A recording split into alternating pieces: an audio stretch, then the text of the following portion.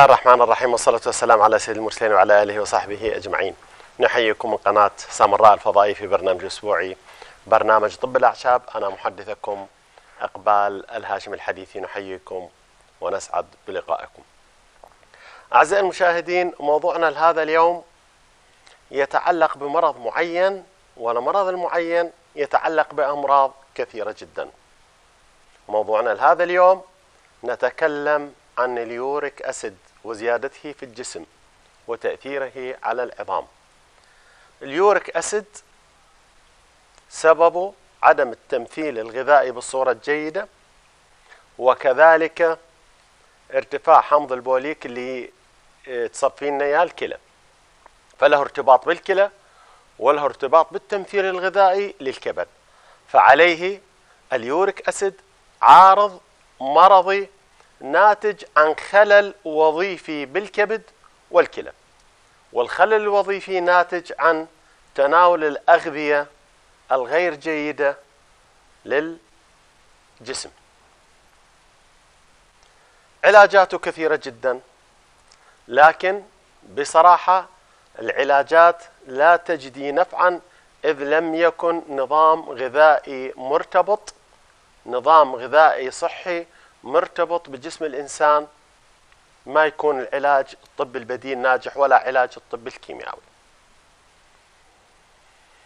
أهم نقطة أهم نقطة عندنا نوعية الأغذية اللي يتناولها مريض اليوريك أسيد. طبعا من يزداد اليوريك أسيد بجسم الإنسان؟ يولد لنا حالتين. الحالة الأولى توالد حصيات الكلى من نقول توالد. يعني حتى لو تقع الحصوات اليوم بكرة ترجع مرة ثانية بعد أسبوع ترجع لنا مرة ثالثة. هاي الأمور بأنه تتوالد حصى الكلى من أثر ارتفاع الإنزيم داخل جسم الإنسان. علاوة على الآلام بالمفاصل يكون حبيبات على المفاصل وخاصة بداياته إصبع الإبهام. إصبع إبهام القدم يكون الألم بهذا المكان وألم قوي جدا فهذا دليل على ارتفاع اليوريك أسيد بجسم الإنسان. الأغذية الملائمة لهذا الموضوع. أول نقطة الخضراوات بكافة أنواعها. الفاكهة لكن بمستوى قليل جدا. الفاكهة لكن بمستوى قليل جدا. علاوة على استخدام الماء مع الليمون. هو يعتبر علاج رئيسي ويعتبر غذاء طبيعي. الماء مع الليمون. طبعا أحد المصادفات العجيبة الغريبة التقيت بواحد بذاك الأسبوع. وزنه يقول لي ما ينزل وضغط الدم عالي جدا. عمره بالثلاثين سنة. قلت له وزنك إيش قد؟ قال لي 149 ضغطة إيش قد؟ قال نوباتي يوصل ل 18 وعمره 30 سنة يعني مو مال هذا الضغط. ووزنه صح 149 لكن الداهية الكبرى. قلت له إيش قد تشرب مي باليوم؟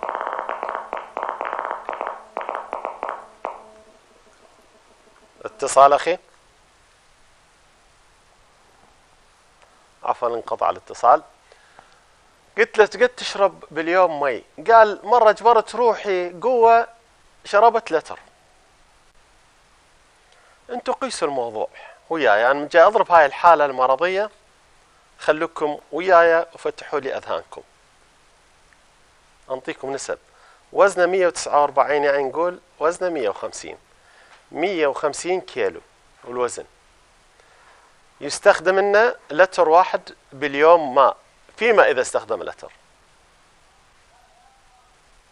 فشلون ما يكون عنده ضغط وشلون ما يكون عنده وزن زيادة وشلون ما يكون عنده حصى بالكلى وشلون ما يكون عنده آلام الفقرات ويوريك أسيد وترتيباتها بسبب بسيط جدا محاضراتي السابقة في كل قنوات الفضائية نؤكد نؤكد على أن جسم الإنسان يحتاج من الماء كما يأتي. جسم الإنسان الوزن تسعين كيلو. نحتاج شقد ثلاث لترات من الماء. يعني كل لتر نخلي له وياه ليمونة ثلاث لترات الماء كل وزن 30 كيلو لتر ماء. كل وزن 30 كيلو لتر من الماء. مع ليمونة مع ليمونة في سبيل يقومون بالفعاليات جيدة. اتصال. ابتسام ويانا انت على الهواء. ابتسام انت على الهواء. انقطع الاتصال ظهر الاتصالات اليوم ضعيفة بالشبكات. ف ألو رجع الاتصال.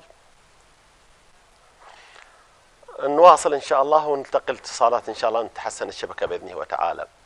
الأخ هنا وزنه 150 149 نقول 150 ياخذ لتر واحد من الماء هو لازم إيش قد يحتاج؟ خمس لترات من الماء، إيش قد عنده نقص؟ أربع لترات من الماء. قيسوا يعني. نعم. ابتسام انت على الهواء. ابتسام انت على الهواء، حي عليكم السلام أهلا وسهلا.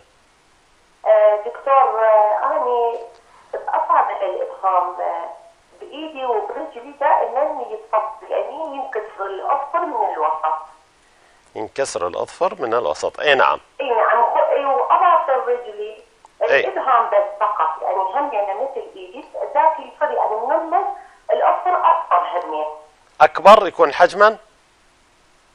شلون يكون؟ يكون أكبر حجم؟ لا أصفر أصفر. أصفر. ها ها أصفر ها ها ها, ها. نعم. نعم نعم نعم. إيش قد عمرك؟ أنا عمري 46 46 سكر عندك؟ لا لا الحمد لله ما عندي حاضر حاضر إن شاء الله. اسمعيني من التلفزيون وأنا حاضر إن شاء الله. اسمعيني. حاضر. حياك الله. أهلا وسهلا أهلا وسهلا. نرجع لموضوعنا. فجسم الإنسان يحتاج لنا كل 30 كيلو من وزن جسم الإنسان لتر ماء دا يقوم لنا بالفعاليات الطبيعية. وكل ما يزيد أكثر يكون أفضل. دا يغسل لنا الجسم. الماء تشطفون طرامي أنتم تشطفون شوارع. كل ما يكثر الماء ينظف الشارع. جسم الإنسان كذلك كل ما يكثر الماء يكون أفضل. تشتغل لنا الكلى أفضل تشتغل لنا الكبد أفضل الخلايا الجسم الشرايين الأوردة العظام. الآية القرآنية الكريمة وجعلنا من الماء كل شيء حي. ما تحيا الخلايا ما يحيا الشعر ما تحيا الأظافر إلا بالماء. فأخوان الماء ثم الماء ثم الماء. شرب الماء يهبط لنا الضغط شرب الماء يقوم لنا الجسم بفعاليات. طبعا الماء القلوي يكون أفضل. الماء الفلاتر يكون أفضل من الماء ال- الماء اللي بالأسواق مو نقول غير جيد لكن طريقة الخزن غير جيدة. فالماء غير صحي وخاصة اجانا آه، وقت الصيف ما شاء الله من اليوم صيف. فيكون فلاتر داخل المنازل أفضل ما يكون طريقة صحية لشرب الماء. الماء بصورة عامة القلوي يكون أفضل. القلوي يكون أفضل. درجة القلوية مالته درجة الحامضية تكون آه، سبعة ستة ونص ماكو مشكلة الموضوع. هم بعض مرات الشركات تكتب لكم اللستة على البطولة مالتها. ماكو مشكلة تنقري. وإذا كانت القلوية جيدة جدا ماكو مشكلة بالموضوع آه، تكون نحو الأفضل. فنقول الماء القلوي أفضل ما يكون من الماء العادي. بالشرب للكلى لليوريك أسيد. نعم. عمر من بغداد أنت على الهواء. السلام عليكم. عليكم السلام أهلا وسهلا حياك الله. يا أهلا وسهلا حياك الله. آه، دكتور عندي بنتي. نعم. آه، أربع سنوات عمرها إي نعم. مشكلة بطول الشعر يعني أربع سنوات حدث شعرها عند جدا قصير. نعم. وضعف بالموضوع يعني ضعف بالشعر نعم. عندكم آه، آه، شلون عرفت دكتور؟ العمر أربع سنوات؟ أربع سنوات. نعم نعم نعم. ما عندها أمراض فقر دم؟ لا. ما صار بها اصفار عند الولادة؟ والله أكيد صار بها. أكيد. إيش قد درجة؟ والله ما دكتور. خليتوها على أجهزة الإضاءة أو فد شيء؟ لو محتاجه وما أعرف إيش يعني بس أربع سنوات لحدث شعرها ولادي يعني. نعم نعم نعم نعم. مكعكل لو سرح. أي كير إيه. مكعكل يعني. أكرد أكرد مثل ما يقولون المصريين أكرد شعر أكرد. بالضبط. إيه حلو ما شاء الله حلو ما شاء الله. حاضر حاضر. تسمعني من التلفزيون وأنا حاضر حاضر إن شاء الله. هو يعني دكتور هو خفيف بغض النظر عن هو نعم. بس هو خفيف يعني. اي نعم نعم. عدم تقوية نعم. نوعيته خفيف. حاضر اسمعني من التلفزيون وأنا حاضر. وتدل البطن عيني حاضر حاضر. حاضر حياك الله أهلا وسهلا. فالماء أخوان الماء القلوي أفضل ما يكون لجسم الإنسان. شرب الماء بالطريقة الطبيعية اللي كل نص ساعة نقول نصف قدح. ال- اللي نقوله الجسم الإنسان يحتاج حسب الوزن. الوزن آه، 90 ثلاث لترات من الماء يفضل إضافة الليمون الحامض ليكون الماء قاعدي. هاي النقطة المهمة. الليمونة الحامضة تخلي لنا الماء قاعدي. وهذا ما يكون أفضل لجميع جسم الإنسان. ماكو داعي للشراء الماء القلوي. علاوة على تنشيط الكلى الشعور عند امتلاء المثانة بالذهاب إلى الصحيات ضروري جدا لترتيب عمل يعني مو نشرب مي ونخزن ال- الإدرار بالمثانة تؤدينا إلى تكلسات داخل المثانة وهذا ما يحمد عقباه. هذا إذا طبقنا أول نقطة شرب الماء رحنا أنا متأكد المليون بالمية بأمره وتعالى ما يصير عندنا لا يوريك أسيد ولا حصيات بالكلى بس يراد استمرارية بالموضوع. هذه نقطة راس سطر. تناول الخضروات بكثرة تناول المدررات وتنظيف الكلى ده يؤدينا إلى ذهاب اليوريك أسيد عندنا مواد, مواد كثيرة جدا. المواد العشبية الخلطة الآتية عندها اسمه ذنب الخيل. ممتاز جدا. ذنب الخيل. كرفس البير. كرفس البير هسه واحد يقول الكرفس العادي. نعم الكرفس العادي جيد لكن كرفس البير يختلف الموضوع. كرفس البير ينتج عنه مواد فعالة أكثر لتنظيف الكلى لتنظيف الرمل لتنظيف حصيات ال uric acid. يكون إن شأن هذا على الكلى على القراية نسميها أو بالآبار من اسمه كرفس البير. أكو آبار بيها مياه دائمية يكون على جانبه أشبه بالكرفس بس لون الورقة زيتوني. لا أحد يجيب لكم كرفس يقول هذا كرفس البير أدليكم على الصحيح. الورقة تكون زيتوني أخضر أخضر قاتم.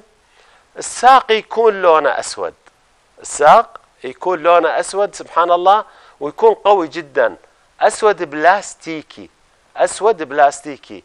هذا كرفس البير هذا يكون أفضل ما يكون لتنظيف الكلى واليوريك أسيد نضيف له بعد عندنا عندنا ذنب الخيل. عندنا كرفس البير عندنا كفشة الذرة. عرانيس مالت الذرة يصير عليها مثل الصوف. هذه اسمها كفشة الذرة. هذه ممتازة جدا. كذلك نخليها بالخلطة. موسع. لأنابيب الكلى نخلي توسيع خلي عم تنزل حصيات شو نخلي؟ إحنا جاي نوضح للأخ المشاهد وللأخت المشاهدة خلي نقول ليش نستخدم مثلا هذا الموضوع؟ بذور الخلة بذور الخلة لتوسيع الأنابيب التابعة للكلى. ده يصير لنا ذهاب آه، رمل الخشن وذوبان حصيات الكلى وكذلك توسيع حتى الشرايين والأوردة. بذور الخلة البلدي عندنا بذور خلة شيطاني عندنا بذور خلة بلدي. إحنا في حالات حصيات الكلى واليوريك أسيد نستخدم بذور الخلة البلدي وليست بذور الخلة الشيطاني. راح لربما سأل يسأل يقول ما أعرف شنو بذور الخلة. بذور الخلة كلكم تعرفوها لكن التسميات تختلف. إذا مال عوادين تنظيف الأسنان مثل الفرشات تصير مثل الفرشة مال تنظيف الأسنان السابقة اللي كانوا يخلوها بالمطاعم قبل التطور قبل ما جانا ال- الاحتلال قبل 2003 نلقاها بالمطاعم موجودة على آه، يم الكاشيرة بالمطعم نلقاها مال عود تنظيف الأسنان اللي يكون على شكل كفشة. فهذا هي هاي الخلة هي هاي بذور الخلة البلدي وطعمها طيب طبعا بالمناسبة. ناخذ هذه جميعا ونخلي وياها كمدررات مثلا بذور الخس. ناخذ وياها بذور الخس. بذور الخس نضيف له كل هاي المواد تصير عندنا خلطة كاملة. الخلطة الكاملة شلون نستخدمها؟ تنطحن كلها طحن ناعم جدا. بعد الطحن شلون نستخدم؟ نجيب خاشوقتين أكل ملعقتين طعام يعني نقول خاشوقة أكل. بعض المرات يقول شنو خاشوقة هاي خاشوقة بالتركي. ملعقة طعام كبيرة ملعقتين طعام من المخلوط كاملة. مع خمسة قدح ماء.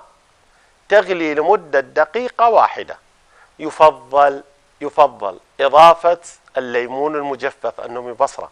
يضاف, الليمون المجفف النومي بصرة. وحدة أو ثنتين حسب الرغبة. كل ما تكثر يكون أفضل. كل ما تكثر يكون أفضل مع خمس إلى عشر حبات هيل. تفيد موضوع الهيل يفيد لنا الكلى يفيد لنا الجسم بصورة عامة. نومي بصرة وهيل ويا الخلطة راح تكون ممتازة جدا ممتازة جدا. نخدرها تخدير بسيط جدا مثل الشاي نصفيها وتنشرب طوال اليوم. هاي الخمس أقداح تنشرب طوال اليوم. طبعا مسكن طبعا مدرر طبعا يشغل لنا الكلى بصورة جيدة جدا. هذا كعلاج عشبي يستمر عليه فترة إلى أن ينزل لنا اليوريك أسيد. يستمر عليه يوميا. لتنظيف الكبد كذلك له علاقة بالتمثيل الغذائي. طبعا استخدام الملينات استخدام الملينات ضروري جدا لجسم الإنسان. استخدام الملينات كثيرة جدا. عندنا زيت الزيتون عندنا زيت الخروع عندنا زيت الجليسرين أمور كثيرة جدا. الملينات عندنا قليل من السنمكي ولو الكثرة ماله تؤدينا إلى الأمراض الغير جيدة. الإقلال من السنمكي أمور كثيرة جدا يستخدم لنا هذا الموضوع. عندنا تنظيف الكبد. تنظيف الكبد رحنا لازم شو نضيف؟ أني من أتكلم أتكلم عن الأصلي لا أتكلم عن الموجود بالأسواق. أتكلم عن زيت الزيتون الأصلي المعصور على البارد. أتكلم عن العسل الأصلي العسل الأصلي اللي ما مغذى على سكر. وسبق وأن تكلمت عن هذا الموضوع كيف تعرفون العسل ما مغذى على سكر؟ وبكل بساطة في أوقات الشتاء نعم يحتاج العسل إلى سكريات. يحتاج النحل إلى سكريات إلى التغذية. بس لكن التغذية في أو مو وقت إنتاج العسل في بعض الأحيان. بالعراق ما نكسر الحاجة العراقية ما نكسر العسل العراقي. العسل العراقي عراقنا وبلدنا. لكن لكن اللي يريد ينتج عسل مضبوط يخلي المناحل ماله وين في مناطق زراعية دائمة الأزهار. من نقول دائمة الأزهار يعني ربيع خريف شتاء نريد أزهار. دا يتغذى النحل عليها دا يكون العسل ماله صافي جدا. ولذلك ارتأيت أنه أنشأ مناحل تابعة المكتبي في جمهورية مصر العربية في الريف المصري منطقة الإسماعيلية قنطرة غرب منطقة البياضية. قرية البياضية. قرية بها السمسم بها القطن بها المورينجا بها المانجا بها العرموط بها بها بها نباتات برية كثيرة جدا. فارتئيت أن أنشأ أحد المناحل التابعة لي في منطقة الريف المصري. تكون أفضل من البقية. لا نقول غير جيدة البقية لكن نقول نقول منحنا أفضل من البقية. ليش؟ لأنه بوجود أزهار دائمية. فإحنا من نسأل على العسل الأصلي نسأل على منشأ المكان المنحل وين يعني إحنا نشوف مناطق ما بها زهرة. يمر ثلاثة وأربعة أشهر ما بها زهرة. بعض مرات المناطق الجبلية تكون بها ربيع ممتاز جدا. تكون طبعا يكون بالتأكيد العسل أحسن من اللي موجود عندي. ليش؟ لأنه جبلي. لكن وين الربيع؟ وين الأزهار؟ فنتكلم عن الأزهار الربيعية اللي تنتجها الطبيعة. ينتجها فقط رب العالمين. ما يتغذى جسم ما ينغذيها كيميائي وأسمدة وما أعرف شنو. هاي كذلك راح تكون أشبه بالمصنعة. فإحنا الهدف الوحيد من إنتاج العسل الأصلي مناحنا ككون أزهار كثيرة جدا تختلف عن بقية المناطق. فإحنا الإخوان النحالين نريد من عندهم ينتجون عسل من أزهار كثيفة. لا نريد عسل من سكريات مخلين مي وسكر. ومخلين الكاديه والما أعرف شنو وحبوب اللقاح السابقة يذوبوها ويخلوها بماء ويتغذى عليها النحل ويطلع هاي ممكن يستخدمها في أوقات الشتاء في أوقات المطر في نقل الخلايا. نعم تستخدم. لكن اذا استمراريه على استمرار الزمن هذا الموضوع. ونقطة مهمة جدا. أي واحد ينتج عسل كثير جدا يعني الخلايا ما تنتج لنا أكثر من 5 إلى 10 كيلو إلى 3 كيلو. أنا بحياتي مناحلي ما ناتج أكثر من 3 كيلو كل خلية. بكل ليش؟ لأنه تكون أزهار موجودة وما يتغذى على سكر. من يتغذى على سكريات؟ ممكن المنحل ينتج 10 و 15 كيلو بالخلية الواحدة. لكن كل ما يقل الإنتاج المنحل كل ما يقل إنتاج الخلية من العسل يكون العسل أجود وأفضل. يكون العسل أجود وأفضل. هاي نقطة راس سطر. فاحنا نشوف مناحل مسميات كثيرة جدا. منحل فلان الفلاني منحل فلان الفلان الفلاني. وموزع الكل العراق موزع ثلاث أرباع بغداد. وموزع بثلاجات وبرادات ومخلي النحل المناحل عسل المناحل ماله كاتب عليها الاسم. جيد. يعني كم خلية عندك؟ إيش قد تطلع باليوم؟ إيش قد تطلع بالشهر؟ إيش قد تطلع بالسنة؟ الخلية تنفرز مرتين بالسنة. كل خلية تنتج من ثلاثة إلى خمسة كيلو. منين تنتج تغطي هذا الإنتاج؟ فهذا دليل على وجود خلل على وجود غش على وجود تغذية. ما بها مجال لأنه هذا شغلة علمية. وما عندنا ازهار إحنا أنا بس أقول لكم فتحوا أذهانكم شوفوا لي وين الازهار وروحوا أخذوا عسل عافيات عليكم. بس هذا اللي أريده. في سبيل تكون الشغلة ممتازة والصحة لأنه العسل إذا كان غير اصلي مغذى على سكر راح ياذي لنا الإنسان. راح هو أبو الأمراض السكر الأبيض هو أبو الأمراض. النوب عسل أحمد من بغداد. دكتور؟ عليكم السلام حياك الله. أهلا وسهلا حياك الله ألف هلا. دكتور اريد أعرف علاج الدم إيش قد العمر؟ العمر 18 سنة.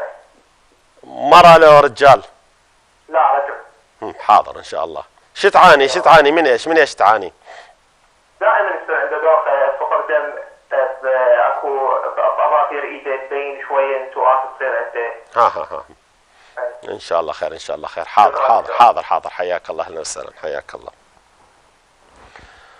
فننظف الكبد لازم بإيش؟ بالعسل الأصلي. إذا ماكو عسل أصلي راح يؤدي لنا الكبد ويؤدي لنا إلى تراكم الشحوم. داخل الكبد راح يصير لنا. أنا أخذت الموضوع طويل بتنظيف الكبد. ليش؟ لأنه إذا رحنا نخلي العسل المغشوش مع تنظيف الكبد راح هو يسوي لنا دهون على الكبد لأن تعرفون السكريات هي تسوي لنا دهون على الكبد. رحنا يعني إحنا جاي ننطي علاج في نفس الوقت ننطي مرض. ولذلك أكد على تنظيف الكبد بالعسل الأصلي. إخوان الموضوع صعب جدا.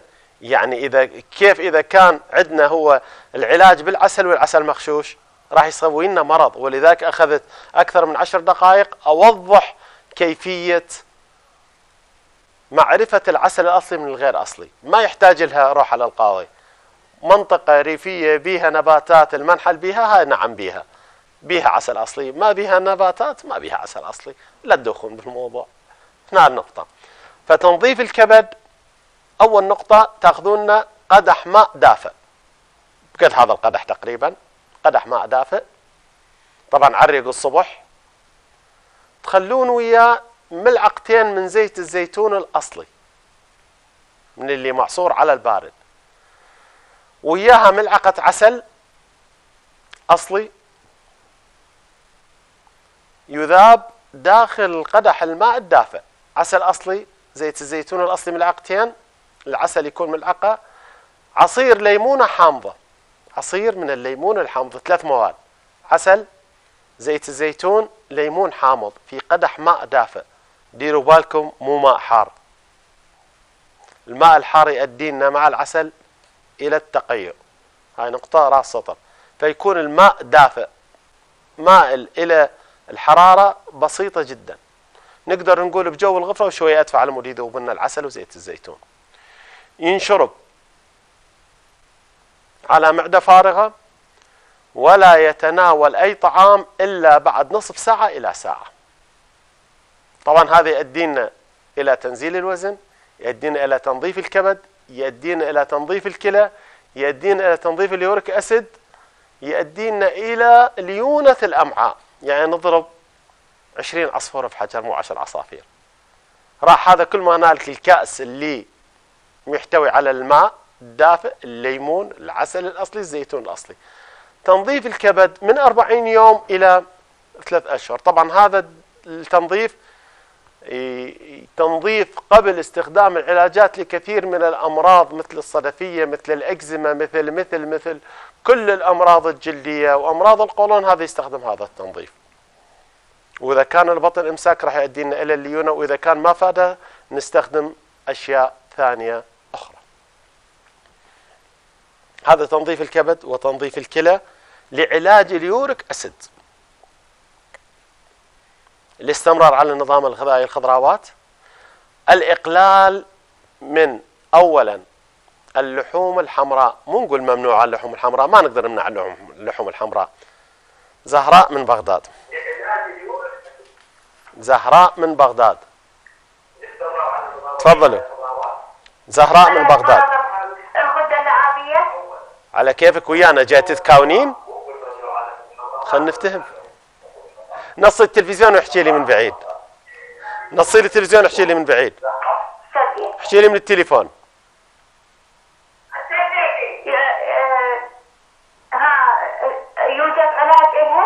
شنو هي؟ شنو هي؟ الغدة اللعابية. الغده اللعابيه أي حاضر بس بتعديلي بتعديلي عن التلفزيون يخليك يا الله بتعديلي عن التلفزيون يخليك الله واحكي لي.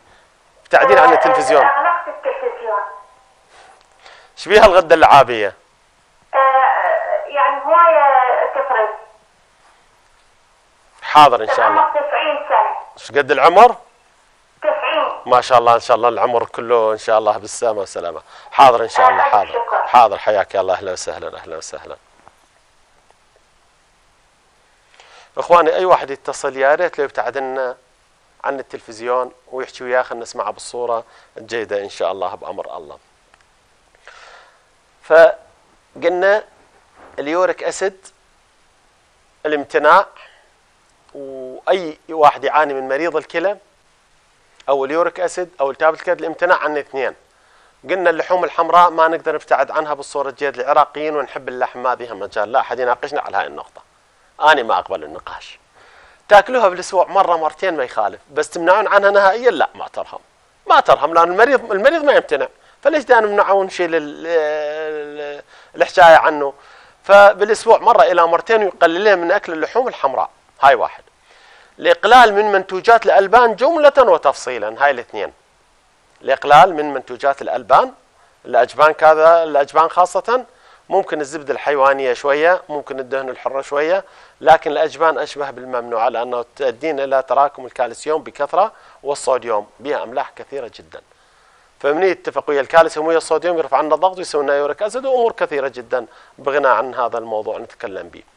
فيبتعدنا عن اللحوم الحمراء منتوجات الألبان. هاي الاثنين يبتعدنا عنها طبعا هاي مؤذية لكل الجسم مؤذية للكلى مؤذية مؤذية مؤذية كثيرة جدا. هاي الاثنين.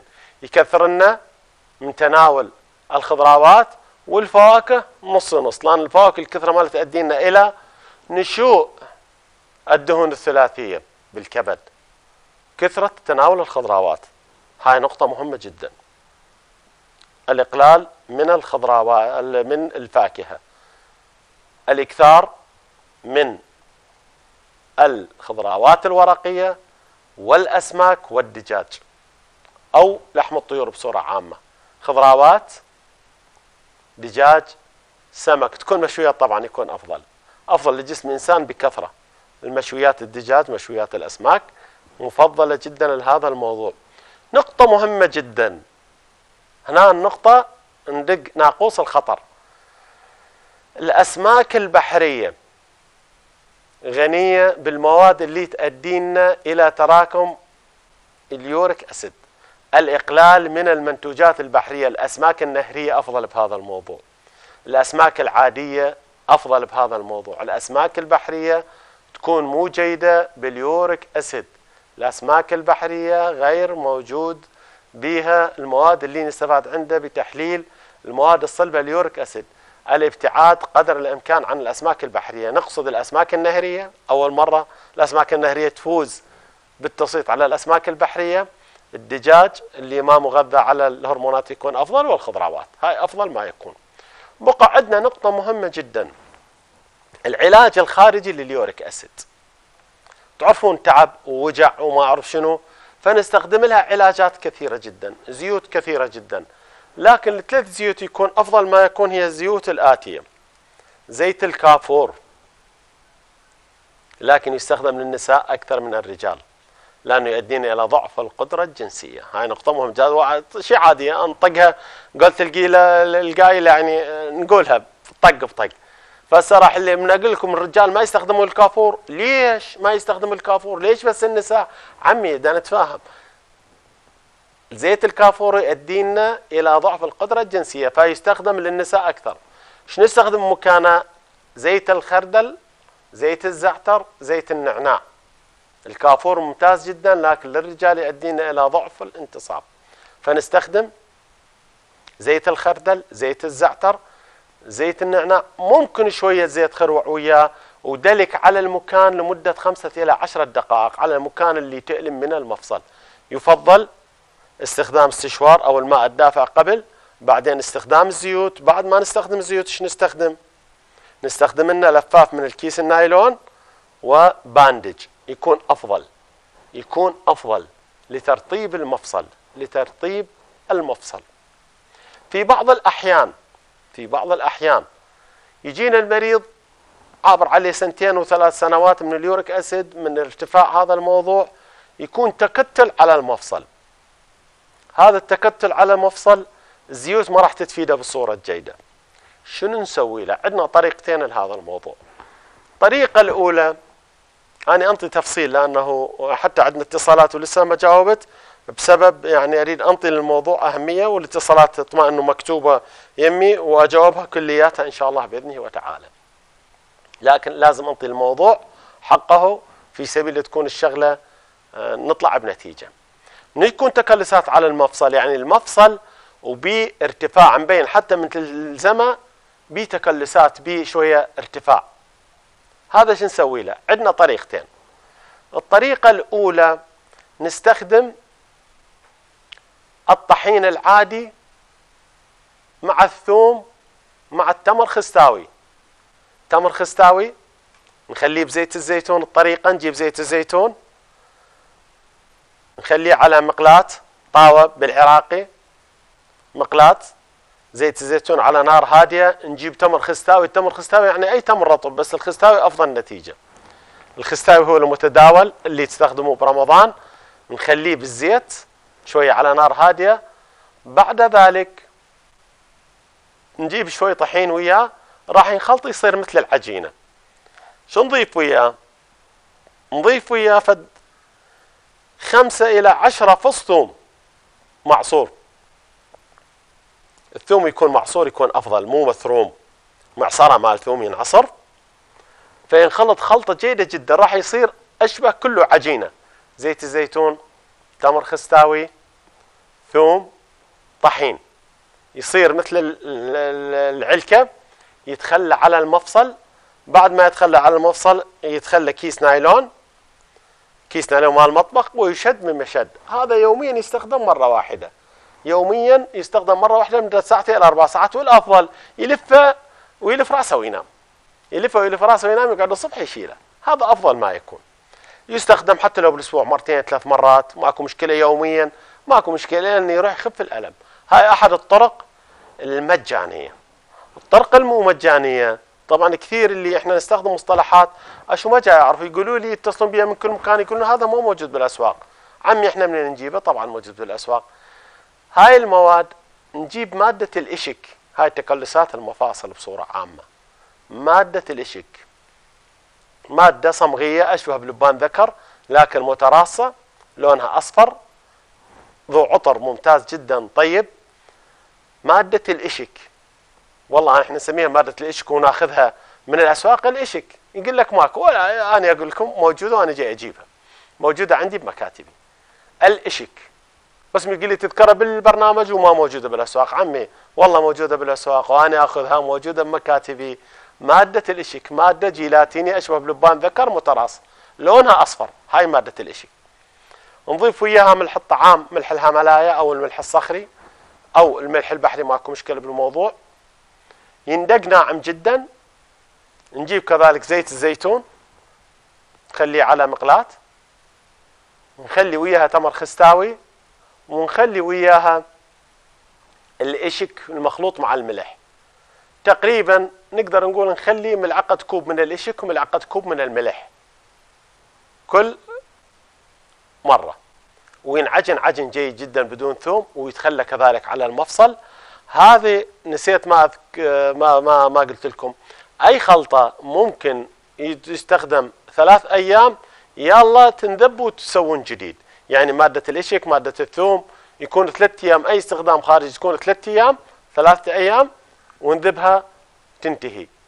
ثلاثة أيام تكون مستمرين عليها ليل آه للصبح إن شاء الله ينذب ثلاث أيام وبعدين يسوون لنا جديد. لأن تقلل فعالية. ثلاث أيام توضع اللبخات. ما ممكن يكون عليها أي شيء بس بعد ثلاث أيام لا تكون الشغلة مو جيدة. هاي التكلسات المفاصل تكلسات اليوريك أسيد. الإشك مع ملح الطعام علي من المدائن انت على الهواء. علي من المدائن. انقطع الاتصال.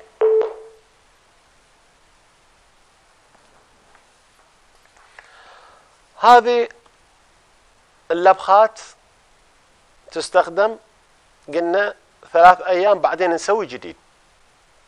طبعا الحركة الرياضية يوميا مشي لمدة ساعة. ينظم لنا الكلى ينظم لنا الكبد ينظم لنا اليوريك أسيد. كل الأمراض مرتبطة ببعضها. كل الأمراض الإقلال من السكريات الإقلال من اللحوم الحمراء الإقلال من منتوجات الألبان وخص الأجبان. علي انت على الهواء علي أبو المدائن حياك الله. تفضل أخويا. ع- تفضل أخويا. علي بن المدان. اي تفضل. أنا اخويا الخبير تفضل. مو دكتور أنا الخبير إقبال الهاشمي تفضل. عليكم السلام حياك الله أهلا وسهلا. حياك الله. تفضل. اسأل حاضر.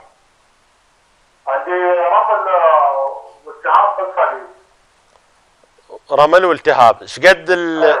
عندك حصوات بالكلى؟ لا لا ما عندي بس رمض خشنه والتهاب في الصليب إيش قد العمر؟ آه 35 سنة. 35 سنة. ماخذ سونار؟ سونار ماخذ؟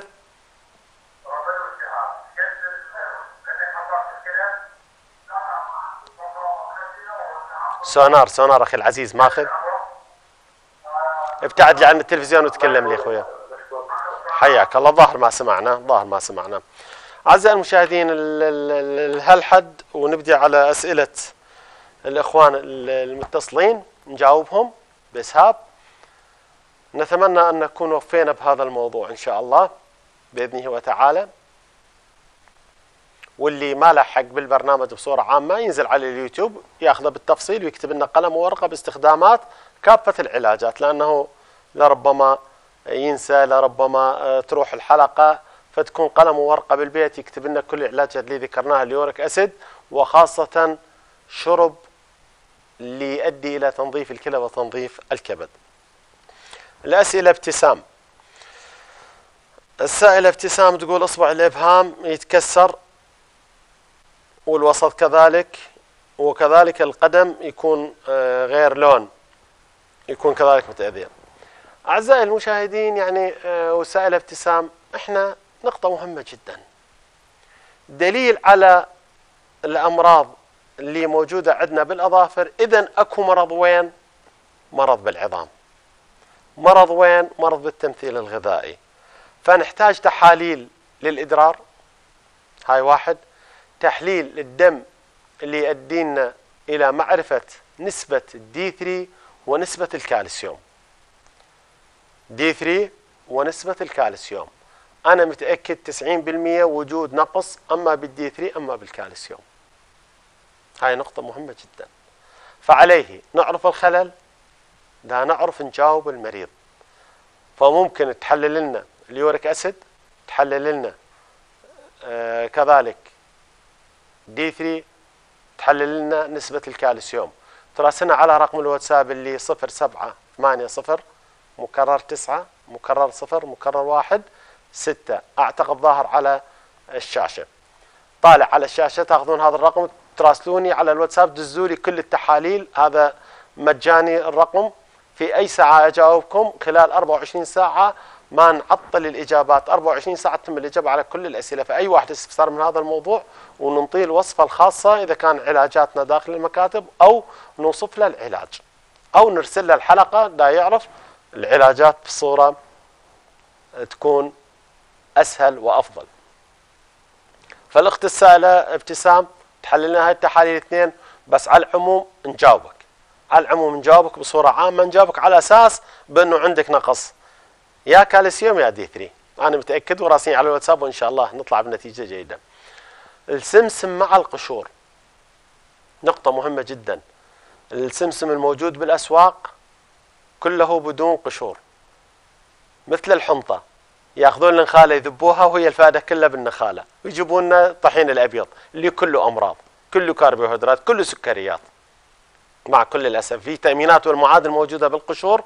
إحنا نشيلها نذبها. نشيلها نذبها للحيوانات مع كل الأسف. ويحرمونا من عندها. هاي التطور الحضاري التطور الحضاري الجديد. فأخوان السمسم ممنوع ينذب من عنده اي قشر فائدته بالقشور. من تكون السمسم مع القشور فائدة القدح الواحد عدال 12 مرة من فوائد الحليب. انتبهوا علي. السمسم مع القشور عدال 12 مرة عدال فوائد الحليب لل D3 والكالسيوم. وطبعا تعرفون ال D3 فوائده خاصية خاصة بهاي السنين عرفنا ال D3 بأنه آه، مسؤول على الجهاز المناعي وتنشيط الجهاز المناعي وكورونا وغير كورونا. فهاي نقطة مهمة جدا. السمسم مع القشور تأخذ لنا كيلو من السمسم مع القشور تنقع تنظفه طبعا بماء. بعد التنظيف من الماء ننقع لمدة أربع ساعات. ينقع لمدة أربع ساعات بعد الأربع ساعات يجفف. طبعا بالمناسبة الماء اللي نقعنا به السمسم ما نذبه. خلوا بالكم بس نقول شو تفيد نشربه لا عمي ما تشربه. هذا مي وسخ ما تشربه. لا. شو نسوي هذا للشعر ممتاز جدا. ممكن يكون حمام مائي للشعر. حمام مائي للشعر. حمام مائي للشعر. ينحفظ ماء السمسم وينفرك به جذور الشعر وأطراف الشعر وينطي تسريح للشعر بصورة جيدة جدا. ناخذ السمسم. يجفف يفضل بالشمس أو مصدر حراري. بعد ذلك يوضع على نار هادئة قليل جدا نحمصه نقول. بالعراقي تحميص بسيط جدا. نشمم شوي ريحة النار. تحميص بسيط جدا لأنه يكون مؤذي للمعدة. يكون ني السمسم مؤذي للمعدة فيتحمص تحميص بسيط جدا. يطحن مع القشور ويتم تناوله. يفضل إذا ماكو سكر يخلط مع التمر أو مع الدبس. يفضل إذا ماكو سكر يخلط مع التمر أو مع الدبس. يؤكل ممتاز جدا لجميع أنحاء الجسم. وتعرفون يعني السمسم فوائده لجسم الإنسان. التين المجفف الاختصاء الابتسام. التين المجفف يقطع ثلاث تينات مع زيت الزيتون. ينقع ليلا والصبح يتم تناوله جيد جدا لل كالسيوم وجيد جدا للدي 3 وممتاز جدا لتنظيف الكلى. ممتاز جدا لتنظيف الكلى. الدهن الخارجي الدهن بزيت الكتان الدهن بزيت الكتان الأصلي الدهن بزيت الكتان الأصلي. عدة مرات يدهن به زيت الكتان. وممكن إذا موجود زيت المورينجا زيت المورينجا غالي جدا. لكن ممكن تضاف نقاط من زيت المورينجا مع زيت الكتان تدهن بها الأظافر تنطينا طراوة ممتازة جدا وعدم تكسر الأظافر وإن شاء الله ماكو إلا السلامة. عمر من بغداد البنية عمرها أربع سنوات والشعر قصير وكان فيها أبصفار حسب استفساري من عنده. إخواني أعزائي آه، طبعا كثير أنا أشوف من هذا الموضوع. طبعا بالنسبة لي أنا أحب البنات أكثر من الولد. هاي نقطة مهمة جدا. هسه يا ريت له هاي عمرها أربع سنوات أجي ألعب وياها لأنه شعرها يخبل مكعكل وخفيف هم حلوة. والله يخليها والله يحفظها. البنات بصورة عامة طبعا كثير من اللي آه، يقولون آه، يعتبون علي بهذا الكلام. أنا لا. أنا صاحب تجربة و27 سنة إلى 28 سنة بعمل الطب البديل. يفضل خاصة البنات. نزينها بالموس أول سنة نزينها بالموس. ثاني سنة ما يخاف نزينها بالموس. أي سنة أي سنة بعمر الطفلة قبل أربع سنوات إلى قبل ست سنوات ممكن واحد يزينها بالموس. هذا الشعر راح ينمو نمو جيد جدا وقوي جدا. يزين بالموس.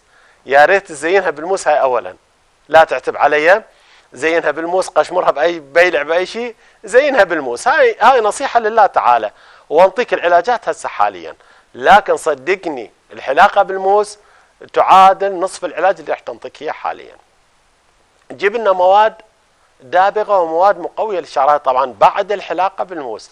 بعد الحلاقة بالموس للبنبونة الصغيرونة. زينها بالموس حلاقة. بعدين تجيب لنا أي مواد دابغة اللي متوفرة عندك مثلا قشر الجوز الأخضر. مو الجوز الأخضر هذا الجوز اليابس لا. يصير هاي الجوزة اللي نشتريها بالسوق عليها غلاف اسمه هذا قشر الجوز الأخضر. ناخذ القشر هو لونه جوزي رمادي نسميه الأخضر لأنه يكون بدايته أخضر فنجيب ناخذ قشر الجوز الأخضر. نجيب جذور الرمان يكون أفضل وأقوى من لب الرمان أو قشر الرمان. إذا تلقى لك جذر رمان فد قطعه صغيرة يجفف ويطحن مع المواد الباقية تطحن جميعا مع البلوط مع البلوط. قشر الجوز الأخضر مع البلوط قشر البلوط مع جذر الرمان إذا تعذر قشر جذر الرمان ممكن قشر الرمان أو لب الرمان. تطحن جميعا تطحن جميعا. وتغليها على النار. راح يصير عندك هيئة بودر تغليها غليه بسيطة جدا يصير هيئة كريمية. شلون الحناء هيئة كريمية أشبه بالحناء شو تضيف لها؟ نضيف لها صفار بيضة. ده وجود الفسفور بي صفار بيضة وحدة. تخلي لها خاشوقتين ملعقتين. ملعقة زيت خروع ملعقة زيت الزيتون الأصلي. ملعقة زيت خروع وملعقة زيت الزيتون. ينخلط يصير هيئة مثل الحناء تخليها لبخة على الرأس. لبخة على الرأس أسبوعيا أو كل خمس أيام لبخة. أسبوعيا أو كل خمس أيام لبخة لمدة شهر إلى شهرين. راح ينتج شعر ممتاز جدا. ممكن ننطي زيوت بقية زيت الجرجير ممكن زيت الكتان ممكن زيت الافوكادو هاي كلها زيوت جيدة جدا للشعر. وإذا تريد شعر سرح أكثر تخلي لها زيت السمسم مع الخلطة لتكون شعر سرح ممتاز جدا. وإن شاء الله معكم إلا السلامة. أحمد من بغداد فقر الدم 18 سنة. بالنسبة لفقر الدم تستخدم أكثر شيء استخدام الزبيب استخدام الموز استخدام الكرفس استخدام المعدنوس هاي الأمور اللي تكفينا فقر الدم. الابتعاد الابتعاد عن شرب المشروبات الغازية عن جميع المشروبات الغازية وعن الشاي بعد الطعام مباشرة تمتنع منع ما نهائي جدا. آه، بالنسبة زهراء من بغداد الغدد اللعابية العمر 90 سنة هذه غرغرة بزيت الزيتون ومضمضة. غرغرة بزيت الزيتون ومضمضة. غرغرة بزيت الزيتون ومضمضة عدة مرات. الاخ ما أعرف الأخ المخرج الأستاذ الكبير إيش قد بقى لي من الوقت؟ نعم دقيقة واحدة. الأخ السائل علي من المدائن التهابات المجاري البولية. هذا موضوعنا كله كان على التهابات اليوريك أسيد وعلى التهابات المجاري البولية. آه، ادخل على الحلقة ادخل على اليوتيوب وتلقاها إن شاء الله أو تراسلني على الواتساب اللي ظهر عشاء أدز لك حلقة كاملة وأجاوبك. ورحت أجاوبك هسه سريعا. تاخذ كفشة ذرة كرفس البير بذور الخس. هذه تخدرها مثل الشاي ويا نومي بصرة ويا هيل وتشربها عدة مرات باليوم. تشرب ماء مع الليمون مع زيت الزيتون. ماء مع الليمون مع زيت الزيتون مع العسل. الاصلي خلينا ينظف لنا الكل الكبد والكلى. هذه أفضل خلطة التهاب المجاري. شرب الماء باستمرار. شرب ثلاث لترات ماء للقليل يوميا التهاب المجاري. يراد ثلاث لترات من الماء مع ثلاث ليمونات يوميا لتنظيف المجاري وعدم حدوث حصيات الكلى وعدم حدوث الرمل الخشن لأنه الرمل الخشن خلوا بالكم إحنا بطريقنا إلى حصى الكلى. الرمل الخشن مقدمات إلى حصى الكلى. أعزائي المشاهدين طاب مساءكم. نحييكم من قناة سامراء الفضائية ونلتقيكم الأسبوع القادم إن شاء الله. أنا محدثكم خبير الطب البديل إقبال الهاشمي الحديثي نحييكم ونلتقيكم إن شاء الله.